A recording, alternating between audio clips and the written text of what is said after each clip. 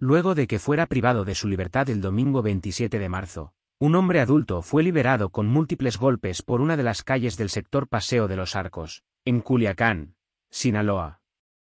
Información obtenida por debate indica que el afectado se identificó como Javier N., de 56 años de edad, mismo que fue atendido por paramédicos de Cruz Roja. Se dio a conocer que el hombre fue puesto en libertad sobre la calle Arco Gótica y calle Arcoiris y avenida Arco, del Triunfo, del sector antes mencionado. Sobre dichas vialidades hombres presuntamente armados llegaron en autos y de forma violenta lo arrojaron.